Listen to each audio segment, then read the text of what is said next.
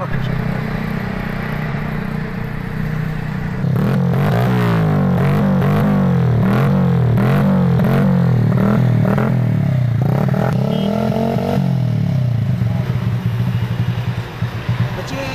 کوي ته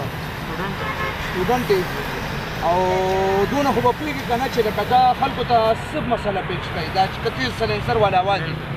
سم مسله خلکو باندې څنګه لګي څنګه لګتی شو یا بد لګي بد لګي بد لګي نو ولې تاسو بیا دا استعمالوي ګوره تاسو ته مونږ په ایجوکیشن باندې چې کوم دی په مینه باندې ستړي شو چې مهرباني وکړئ داسې قسمه حرکات مه کوئ چې هغه نورو ته د تکلیف پای جوړېږي تاسو ته ښه پته ده چې لکه زیات تر چې کوم دی دلته په روډ باندې بیماران دي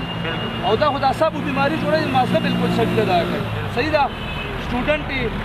د عزت کومه زمونږ پاکستان مستقبل در روان و نو مهرباني وکړه ګاډي به ما سره ودرې سلنسر به ولې چینج کړي صحیح د خپل سلنسر ورته ساده ولګو او انمټ هم په سر کا نو بیا به دې هله پرېږدم ټیک شو که نه